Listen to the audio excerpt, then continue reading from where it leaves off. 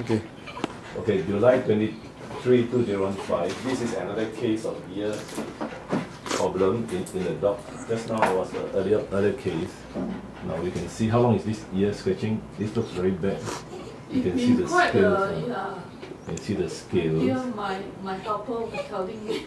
And this one definitely like, you can see the dog is in pain. Okay, so the dog doesn't like it. Now we compare to the other ear. Just turn a bit here, come turn. We compare to the other ear. It should be okay because according to the owner, he didn't scratch his ear. He doesn't mind people holding it also.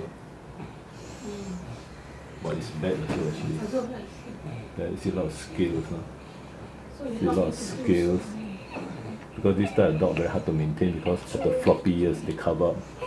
Ah, okay, that's another one. So so we need to sedate him.